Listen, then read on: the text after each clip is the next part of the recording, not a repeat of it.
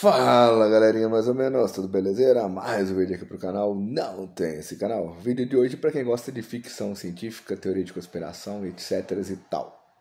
Começo com a pergunta, você sabe o que, que tem em comum os filmes Independence Day, Interestelar, De Volta para o Futuro, o Wall-E, o Ali, sei lá como pronuncia, é aquele desenho daquele robozinho quadradinho que é um compactador de lixo? A série Salvation, Matrix. Todos esses filmes têm uma parada em comum, que é a teoria da simulação. Alguns falam de uma forma mais profunda, outros de uma forma mais superficial, mas todos falam da teoria da simulação. E o que é essa teoria da simulação? Essa teoria já foi criada algum tempo atrás e ela fala o seguinte: do primeiro videogame que existiu, que era um jogo em primeira dimensão, em uma dimensão, tinha um jogo chamado Pong, que consistia no que na tela da televisão, a borda, as bordas, né, as quatro bordas da tela da televisão ficarem acesas, uma linha no meio dividindo a tela em duas, um pontinho brilhando de um lado, outro pontinho brilhando do outro para simular os jogadores, o avatar dos jogadores ali. O controle remoto fazia para cima e para frente e para trás, que ia para cima e para baixo na tela.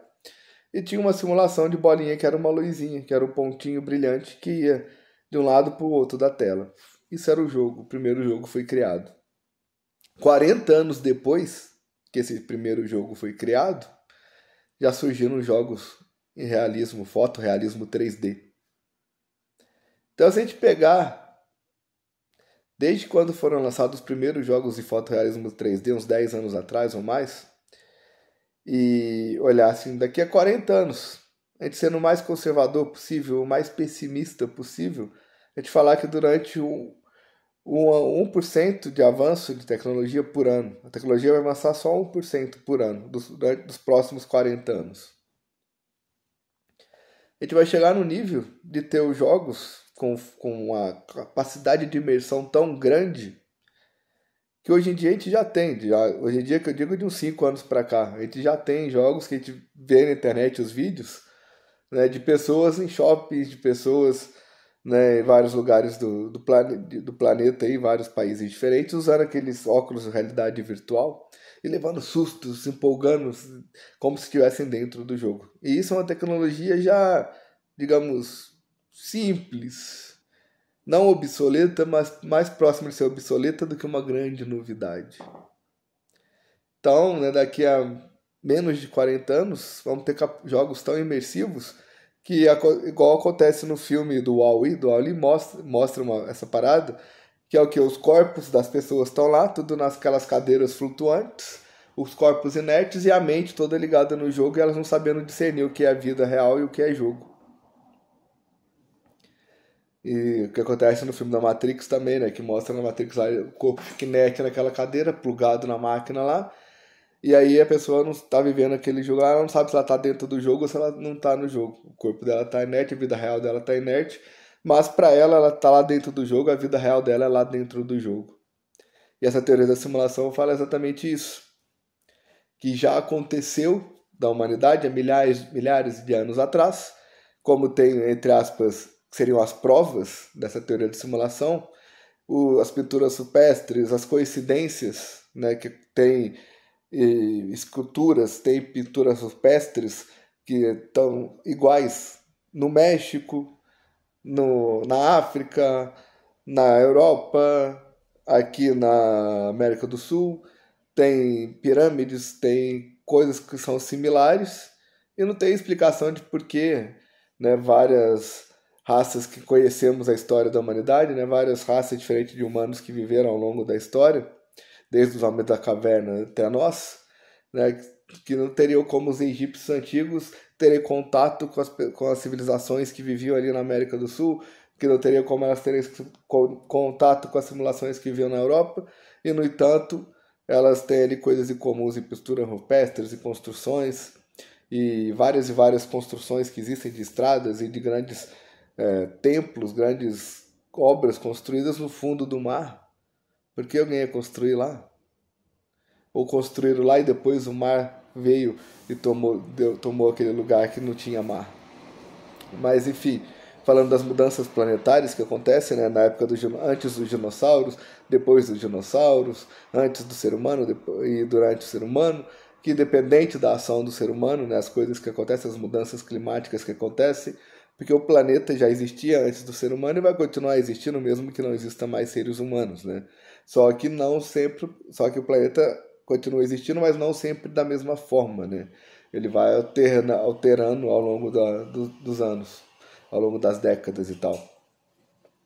Igual fala na série Salvation, fala no filme Interestelar e fala em outros filmes também, né, que a humanidade avançou a tecnologia a ponto de criar naves interplanetárias, a ponto de descobrir planetas habitáveis e mudou para esses outros planetas.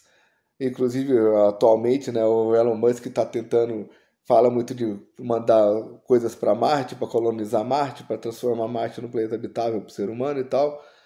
Então, assim, no, em alguns filmes de ficção científica, vários filmes de ficção científica e tal, falam sobre isso, e na série Salvation e alguns outros filmes também falam sobre um asteroide vindo em rota de colisão com a Terra, e por isso a necessidade de criarem naves interplanetárias e aí levar a humanidade para outros planetas para eles habitarem lá. E essa teoria da simulação fala justamente isso, que já aconteceu na época lá do Egito Antigo, na época da construção das pirâmides, que tinham naves interplanetárias que o ser humano conseguiu, criar, e aí foi para outro planeta, só que não foi 100% da humanidade.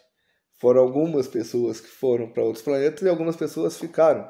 E essas pessoas que ficaram viram o planeta né, se tornar, entre aspas, inabitável para a espécie humana, mas com as mudanças climáticas que foram acontecendo, os seres humanos, como o corpo humano vai se adaptando, o corpo daqui também foi se adaptando, e alguns foram ficando aqui na Terra, sobrevivendo, etc e tal. E os que foram lá para outro planeta, para outra galáxia, né, o que aconteceu com eles? Eles criaram tecnologia, avançaram tanto a tecnologia lá, que criaram a simulação, né, criaram lá um mundo, igual acontece no desenho do Wall-E, o corpo fica inerte e eles ficam plugados no mundo, igual na Matrix e tal. Criaram essa simulação que a gente vive, que a gente acha que é a vida. A gente acha que é a vida porque a simulação é tão bem criada, a tecnologia é tão grande, que criou essa simulação que a gente fica perdido, a gente não sabe que a nossa vida real está lá em outro planeta, em outra galáxia e que nós, na, foi criado também lá planeta, na Santa foi criada também a viagem no tempo. E a viagem no tempo é o que a gente chama de vida. É o que a gente chama de acordar todo dia, todo dia que a gente acorda, a consciência é a alma, é o espírito, é o que for, que está lá no, na vida real e que se transporta para esse avatar que liga esse jogo e que a gente acorda aqui para viver a experiência do que é ser humano, do que é o ser humano viver no planeta Terra o planeta de origem da, da espécie humana.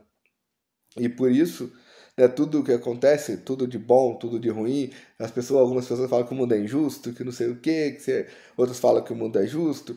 As chuvas né, que acontecem em cada época do ano chove, numa época do ano chove mais, outra época do ano chove menos, num certo lugar do planeta chove mais, no outro chove menos, no mesmo lugar do planeta, às vezes, no, no ano chove mais, no outro ano chove menos, na mesma época do ano, né, entre um ano e outro, no, no verão de um ano e no verão do ano seguinte, às vezes no verão chove menos, no outro chove mais, e no mesmo lugar. Os terremotos, furacões, todas essas coisas que existem são o planeta vivendo, são tudo que está fora do controle, tudo que a gente não pode alterar, porque a gente está simplesmente vivendo a experiência. E aí a questão dos números de pessoas, né? Que, ah, na época da Idade Média tinha 800 mil pessoas, tinha menos de um milhão de pessoas. Hoje em dia tem 8, 8 bilhões de pessoas. Alguns anos atrás tinham só 4 bilhões de pessoas. Esse número de pessoas vai alterando justamente porque são pessoas que estão lá né, nos vindo para cá para viagem no tempo, para conhecer. E às vezes a mesma pessoa que está lá nos planetas vem para uma época, nos anos 2000, sei lá, e aí quando aquele corpo, quando ela vai dormir naquele dia, quando o corpo morre, enfim, quando o corpo deixa de existir aqui, aquela mesma pessoa vai lá, pega outro corpo que vai lá para a época do Império Romano, para a época do Egito Antigo e tal, para ela ver como era a humanidade, como era nas diversas épocas. A gente tem vários viajantes do tempo que vêm viajar para esses avatares, para essa simulação que a gente chama de vida, e ver como era viver no planeta Terra.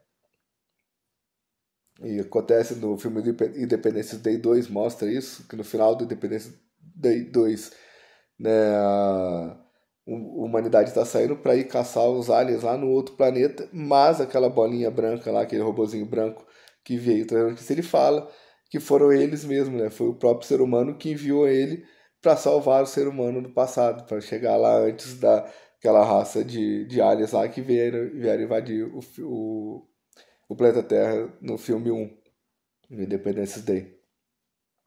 No De Volta ao Futuro também mostra que ele ele estava lá em nos anos 90, ele voltou lá para os anos 60, para depois lá para os anos 2000, para os anos 2000 voltar de novo para os anos 90, porque o que eles, quando eles voltaram dos anos 90 para os anos 60, tentaram mudar alguma coisa, e aí mostra a teoria da simulação toda acontecendo.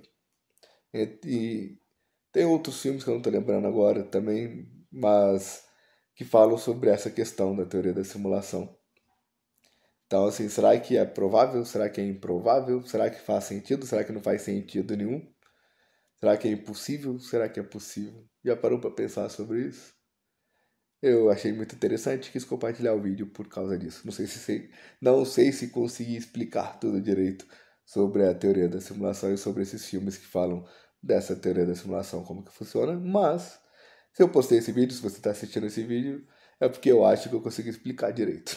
Só que o fato de eu achar que eu consegui explicar direito não quer dizer que eu tenha conseguido explicar direito também. Então, tá aí de qualquer forma o vídeo. Paz para todos, fui.